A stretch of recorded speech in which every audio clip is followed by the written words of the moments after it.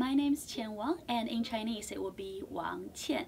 I'm an instructor of Chinese language and linguistics, and currently serving as the uh, Chinese language program coordinator. I actually just joined the department in July 2012, and during my first term teaching here, I have to say I'm very impressed by the uh, performance of UBC students in learning Chinese. I encourage all students to take Chinese as a foreign language. It is different, it is challenging, but at the same time, it is fun.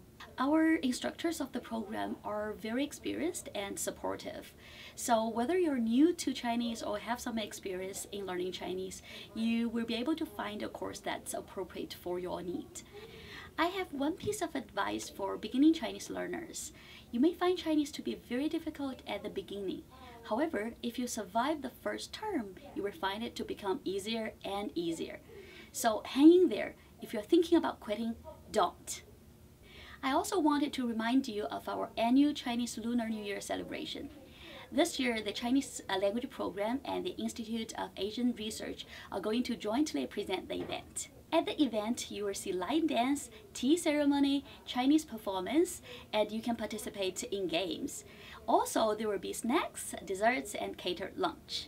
So please mark your calendar. February the 8th from 10 o'clock to 2.30. We'll see you there. Happy New Year! 新年快乐！